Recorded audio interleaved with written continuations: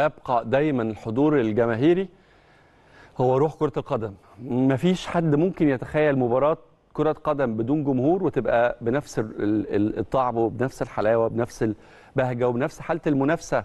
ده على مستوى المشاهد اللي بيتابع وعلى مستوى اللعيبة اللي بتلعب. الرياضة عموما من غير جماهير ملهاش طعم ولا لون ولا ريحة وبالذات كرة القدم. ولولا الشعبية والجماهيرية ما كانتش كرة القدم أصبحت الرياضة الأولى واللغة المشتركة آه، والرياضة الأكثر جذبا للاهتمام على مستوى الكرة الأرضية كلها.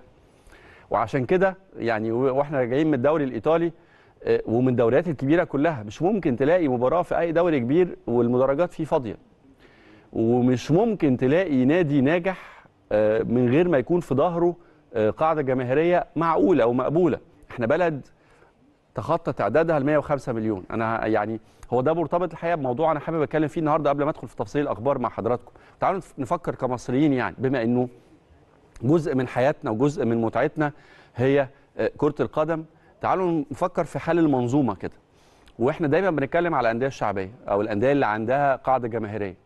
هو مفيش في نادي مفيش في مصر 10 15 20 نادي عندهم على الأقل كل واحد منهم 40 50 ألف مشجع أكيد فيه يعني من غير ما من غير من غير إحصائيات ومن غير آه، آه، أرقام رسمية ومن غير أي حاجة. أنا بكلمك عن بلد فيها آه، 105 مليون منهم 70 80 مليون اللي ليهم ولا ما لهمش في الكورة بيتفرجوا على كورة وبيحبوا الكورة وبيشجعوا كورة وبيشجعوا أندية مختلفة. وسيبك من الأندية الكبيرة اللي ليها قاعدة يعني آه، عريضة من الجماهير اللي إحنا متأكدين. يعني هقول لك مثلا أهلي زمالك إسماعيلي آه، مصري آه، اتحاد غزل محلة آه، منصورة. أنا بكلمكم على أندية أنا شفتهم وشفت جماهيرهم في الملعب بلدية محلة اولمبي يعني ال- الأندية دي أنا اتفرجت على جماهيرها في الملعب. ما ما حدش حكى لي وما حدش وما سمعتش عنهم. الشرقية لما كانت موجودة المنيا لما بنروح نلعب أسوان لما بنروح نلعب. كل دي أندية جماهيرية وشعبية. طب إيه قصة المعاناة؟ ومين المسؤول عن حالة المعاناة دي؟ وليه دايما؟ وده سؤال مهم برضو على الجماهير نفسها إنها تجاوب عليه. ليه دايما قصة نجاح أي نادي مرتبطة بوجود شخص ما في موقع المسؤولية؟ إذا كان موجود هذا الشخص كانت التجربة رائعة ومستقرة ويمكن يكون في الاستقرار ده دافع لتحقيق نجاحات. ايا كان مستوى النجاح ده بطولة هنا بطولة هنا منافسة هنا شكل هنا. يعني بصرف النظر عن معايير النجاح في حد ذاتها. تختلف تتفق عليها لكن التجربة عموما بيبقى في بنبقى حاسين إنه في حالة استقرار. زي مثلا ما شايفين النهارده مثلا الاتحاد السنة دي إلى حد كبير رغم إن كان في زوبعة في النص يعني طبعا لكن انتهت الحمد لله. لكن في النهاية ليه قصة النجاح دايما أو مرحلة الاستقرار دايما أو مرحلة خليني أقول إن إحنا بنطلع لقدام لا إحنا ثابتين محلك سر ولا إحنا بناخد خطوات للخلف مرتبطة بوجود شخص ما. ده سؤال وده لا ينطبق بس على الرياضة ده ينطبق على أي منظومة. وجوده يضمن الاستقرار ويضمن إن يبقى فيه حاجات بتتحقق على أرض الواقع ورحيله أو غيابه عن المشهد يخلي المعادلة أو يعني ال ال ال القصة كلها تختل. ويبقى في مشاكل ويبقى في عدم استقرار ويبقى في مطالبات برحيل لاعبين ويبقى في قصة في التعاقدات ويبقى في مشكلة في العقود والم- والميزانيات ال- إلى أي مدى يسأل آه، الناس اللي كانت مسؤولة في وقت من الأوقات عن آه، غياب أو تراجع مستوى الأندية الشعبية؟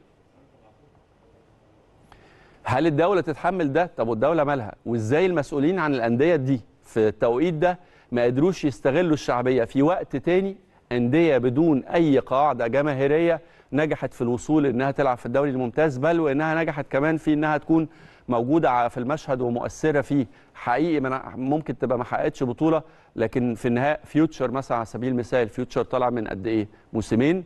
وكاس رابطة ورايح آه، شارك في الكونفدراليه والسنة الجاية هيشارك يا في كونفدرالية يا في دوري أبطال ما حدش عارف يعني ما حدش عارف طبعا لغاية دلوقتي. لكن أقصد أقوله في النهاية قدر يخش وسط الكبار. نادي لا يتمتع بأي قاعدة شعبية ولا جماهيرية. إيه اللي وصلنا لفكرة إنه الدوري الممتاز أهم وأقوى بطولة في مصر عندنا؟ آه، المفروض إنها بتساعد الأندية الكبيرة على إنها تخوض بطولة قوية. تبقى آه، اعداد تبقى احتكاك آه، مناسب انك تلعب في بطولات قارية أو بطولات عالمية. وفي نفس الوقت تبقى واحدة من اهم روافد المنتخب الوطني تبقى فيها سبع أندية فقط ليها شعبية وجماهيرية وتاريخ و11 نادي تاني ملوش أي جمهور أو ملوش أي قاعدة آه، جماهيرية أو شعبية بتشجعه تقريبا يعني. إلا من رحم ربي لو بتعتمد إنه في 100 ولا 200 500 ولا 1000 ولا 2000 بيشجعوا ده بالتأكيد مش قاعدة جماهيرية تبني عليها فريق أو نادي. بينافس في بطولة زي بطولة الدوري. وبالتالي قصة طبعا مع كامل التقدير والاحترام طبعا للمجهودات اللي بتقوم بيها سواء على مستوى رؤساء الأندية دي اللي يمكن اجتمعوا عشان يناقشوا مشاكلهم أو على مستوى آه، مجلس النواب اللي النهارده لجنة الشباب والرياضة بتجتمع عشان تناقش في حضور ممثلي 100 نادي في مصر عن مشاكل الأندية الشعبية. يهمني جدا ويهم الناس كلها إنه الأندية الشعبية في مصر ترجع مرة تانية. لكن هو السؤال إزاي؟ وهل ده مرتبط بإنه يكون في جهة ما؟ رابطة أندية اتحاد كورة آه، دولة آه، مجلس نواب آه، وزارة شباب ورياضة هي اللي تدعم؟ وتدعم بمعنى إيه؟ وتدعم لغاية إمتى؟ وإزاي المسؤولين عن إدارة الأندية دي على مدار سنوات كتيرة جدا تعاقبت؟ المنصورة نزل وما رجعش من إمتى؟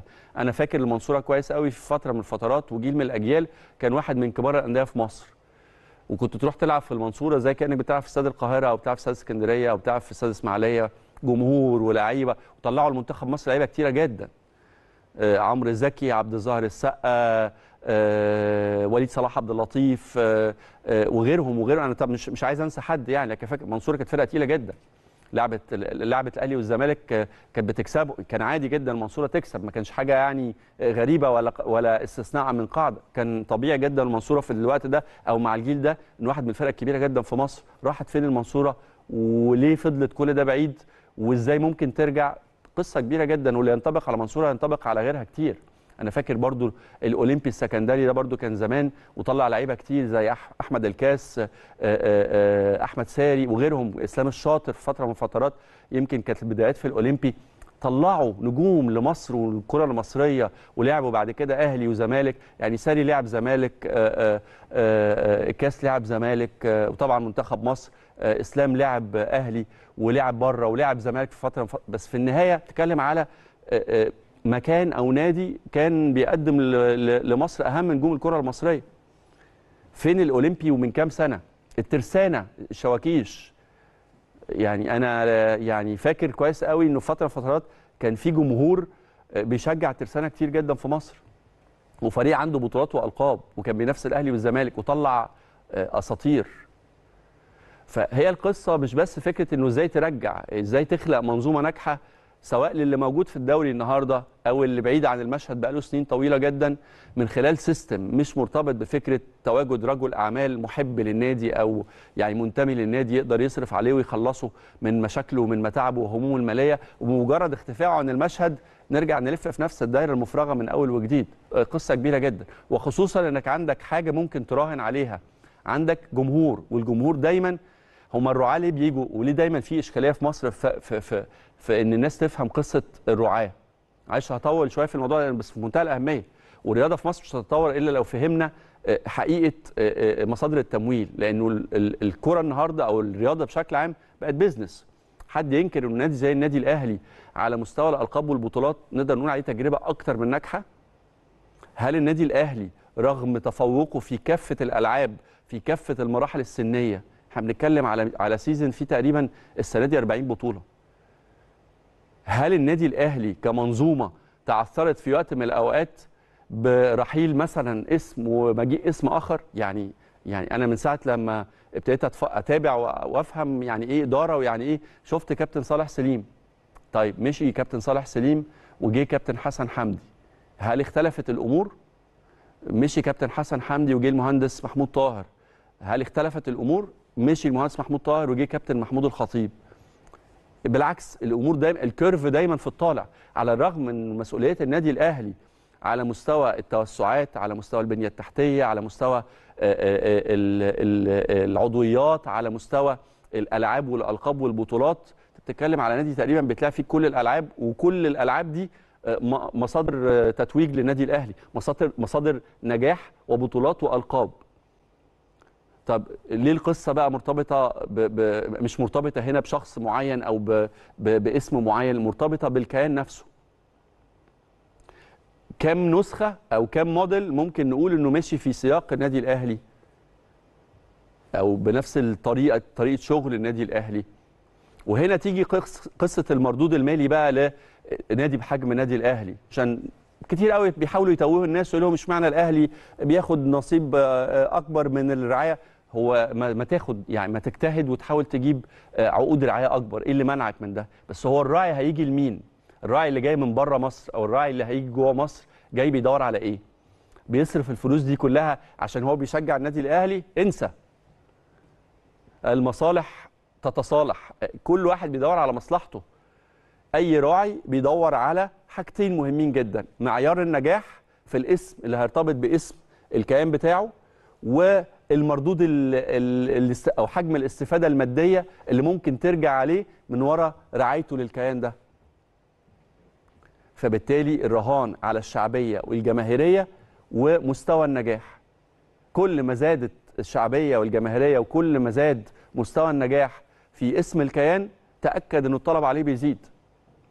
النادي الأهلي النهارده لما يخرج من بطولة أفريقيا سيبك من الدوري سيبك من المحلي النادي الأهلي لما يخرج من بطولة أفريقيا أو يخرج من البطولة العربية أو يخرج حتى من بطولة كأس العالم تأكد إنه في خسارة هتقع على البطولة لأن كل منظمين هذه البطولات يعلموا تماما مقدار المتابعة اللي يعني هتتأثر بسبب غياب نادي بحجم النادي الأهلي وبشعبيته وجماهيريته الكبيرة جدا في مصر وفي المنطقة العربية وفي أفريقيا.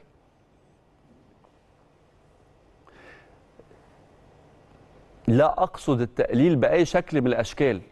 لكن إيه هو حجم المشاهدة أو المتابعة التلفزيونية لمباراة بتجمع بين مثلا مثلا يعني؟ أنا هديكوا ناديين فيهم كوره كويسة. يعني لو أنت بتتفرج على كورة هتحب تتفرج على مباراة مثلا بين فيوتشر وبيراميدز لكن تعالى نسأل نفسنا إيه حجم المتابعة التلفزيونية وإيه حجم الإعلانات اللي ممكن يكون محطوطة على مباراة بين فرقتين زي فيوتشر وبيراميدز وإيه حجم الدعاية والإعلان اللي ممكن يكون محطوط على مباراة بين الأهلي والإسماعيلي أو الأهلي والزمالك أو حتى الأهلي والمصري أو الأهلي والاتحاد. شتان